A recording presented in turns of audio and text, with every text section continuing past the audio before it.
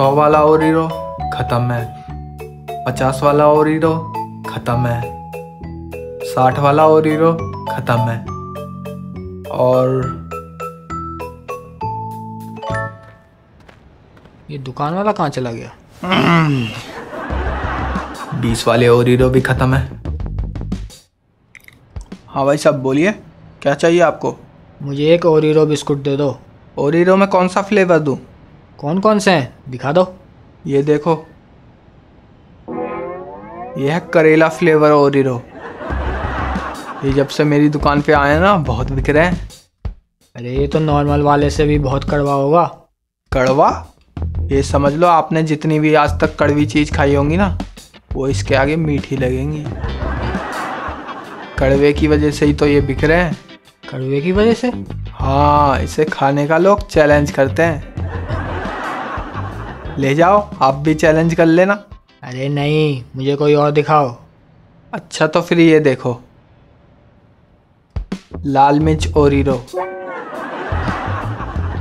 इसे सब सब्ज़ी में भी डालते हैं। जैसे कभी कभी घर में मिर्च ख़त्म हो जाती है तो लोग इसे ही सब्ज़ी में डाल लेते हैं। अरे नहीं नहीं ये तो बिल्कुल भी नहीं चाहिए।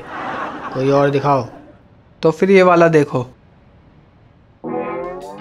बैंगन और अरे ये क्या दिखा रहे हो?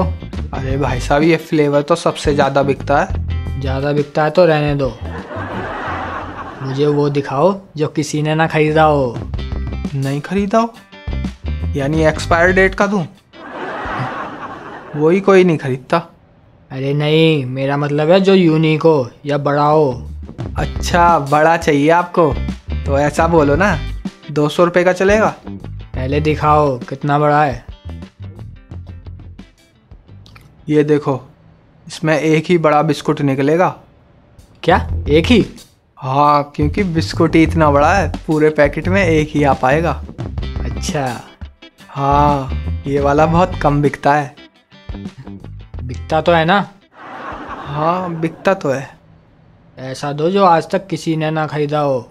अच्छा तो फिर मेरे को आपके लिए स्पेशल और सबसे बड़ा ओरिडो बनवाना पड़ेगा। अच्छा? हाँ। कहाँ रह गया? एक मिनट से वेट कर रहा हूँ। आ गया। अपने सामने देख। अभी मैं चला ही जाता। मुझे वेट करना पसंद नहीं है। अरे तुझे कुछ हैरानी नहीं हुई क्या? हैरानी? हैरानी क्यों होगी मुझे? ये बिस्कुट नहीं दिख रहा क्या तुझे? हाँ दिख रहा है। ये तुझे बड़ा नहीं लग रहा क्या? अगर तू इसे बड़ा कह रहा है तो मेरे ओरिरो को क्या बोलेगा? अच्छा तू भी लाया क्या? हाँ। दिखा फिर कहाँ है? ये रहा। ये क्या है चादर? अरे चादर के नीचे। क्या हुआ? अरे तू ये कहाँ से लाया है? दुकान वाले ने तो मुझसे बोला था मैं आपको सबसे बड़ा बिस्कुट दे रहा हूँ। अच्छा उसने तो मुझसे भी यही बोला था। अच्छा। हाँ मुझे लग रहा है वो दुकान वाला सबको बड़ा कह के ही बेच रहा है। उस दुकान वाले की इतनी हिम्मत? अभी जाता हूँ उसके पास। हाँ तू भी इतना बड़ा ही ले आई हो। हाँ।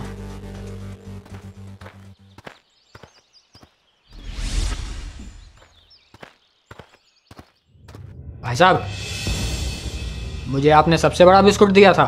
हाँ क्या हुआ? उससे भी बड़ा आपने मेरे दोस्त को दिया है। मैंने कहा था यूनिक देना जो किसी ने ना खरीदा हो। अरे भाई साहब नाराज़ क्यों हो रहे हो? आपके दोस्त को भी यूनिक चाहिए था। फिर आप ही बताओ मैं क्या करता। तो उसको जो दिया है वो मुझे दे देते। वो मेरे पास बना हुआ रखा था और मैंने आपका जल्दी की वजह से छोटा ही बनवा दिया। ये तुमने बहुत बड़ी गलती करी है। इसका हिसाब तो तुम्हें चुकाना ही पड़ेगा। अभी कंज्यूमर कोर्ट में कंप्लेन करता हूँ। अरे नहीं रुक जाओ भाई साहब। कंप्लेन वम्प्लेन मत करो। ऐसा करता हूँ मैं आपके लिए सबसे यूनिक बनवा देता हूँ। ये तो तुमने पहले भी कहा था। नहीं इस बार सच कह रहा हूँ। इस बार पक्का यूनिक बनवाओगे ना?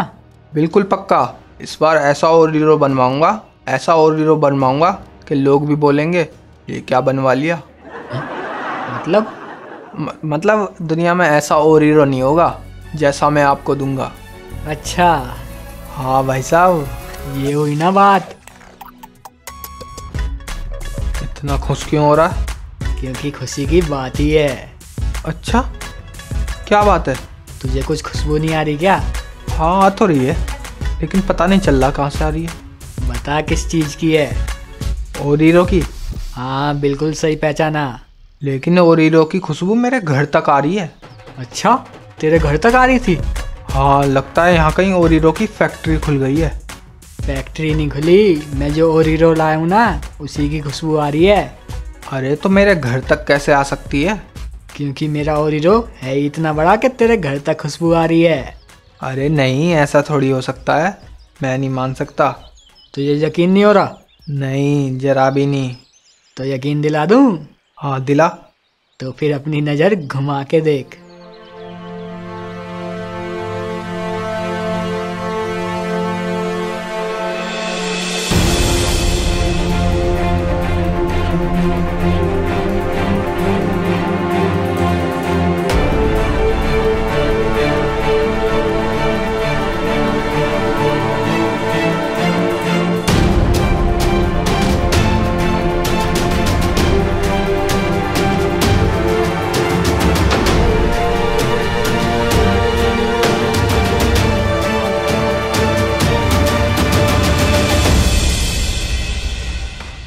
अरे ये तो बहुत बड़ा है। हाँ खाया कभी तूने इतना बड़ा ओरीरो खाया? मैंने देखा ही पहली बार है। खाने की तो दूर की बात रही। अरे हाँ। मुझे इस ओरिरो के दर्शन हो गए यही बहुत है। इसे दिखाने के लिए थैंक यू कहता हूँ मैं तुझे। वेलकम वेलकम लेकिन कैसे खाएगा तू इसे? कैसे क्या खाऊँगा? जैसे खाते हैं वैसे ही खाऊँगा। इसे जब तक मिल्क में डुबो के ना खाओ तो मज़ा ही नहीं आता। हाँ ये बात तो तू सही कह रहा है। तो फिर डुबोएगा कैसे तू इसे? अरे हाँ यार ये तो मैंने सोचा ही नहीं। अरे तेरा ओरीरो भी तो बड़ा था। तूने कैसे मिल्क में डुबोया उसे? मैंने एक बड़ा कटोरा बर्तन वाले से बनवाया था। फिर उसमें मिल्क भरा फिर डुबो के खा लिया। तो फिर मैं भी एक कटोरा बनवा लेता हूँ। नहीं वो इतना बड़ा नहीं बना पाएगा। मैंने उससे बनवाया था तो कह रहा था बहुत मुश्किल से बना है। अब कभी इतना बड़ा कटोरा नहीं बनाऊँगा। अच्छा फिर मैं क्या करूँ? मेरे पास एक आइडिया है। अच्छा? हाँ लेकिन आइडिया जब ही बताऊँगा जब तुम मुझे भी खिलाएगा। बहुत मस्त आइडिया है। हाँ चल खा लियो। वैसे भी ये बहुत बड़ा है। मैं अकेले तो खा नहीं पाऊँगा इसे। ठीक है तो मैं बताता हूँ तुझे क्या करना है। हाँ बता। यहीं पास में एक तालाब है। उसे खाली करके उसमें मिल्क भरवा दियो। फिर क्रेन से मिल्क में डुबा के निकलवा लियो। फिर? फिर क्या? दोनों मज़े से खाएँगे? क्या बात है? मस्त आइडिया है। मुझे पता नहीं था तेरे पास दिमाग भी है। चल फिर, देर किस बात की? हाँ चल।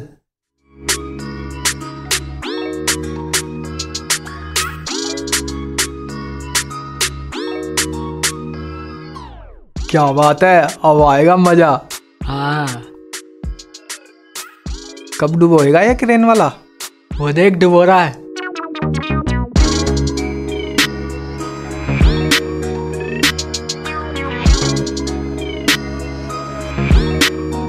क्या बात है?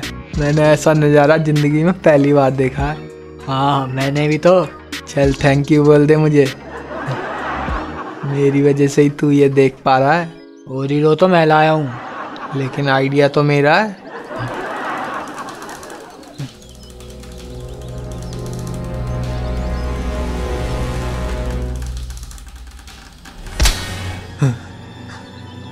अरे क्रेन वाले को कॉल करके बोल रस्सी टूटने वाली है। वो क्रेन को मोड़ लेगा नहीं तो ओरिडो मिल्क में डूब जाएगा। हाँ।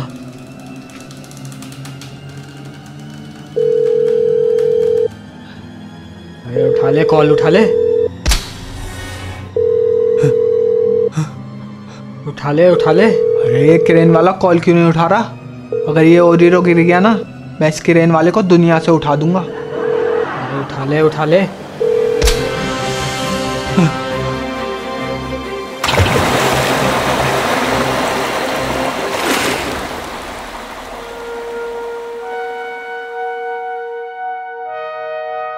ये क्रेन वाला गया। मैं इस ओरिरो को टेस्ट भी नहीं कर पाया।